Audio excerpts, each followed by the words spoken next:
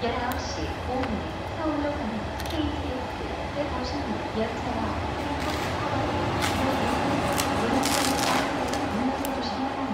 The ETX train number 156 departing for 동대구 김천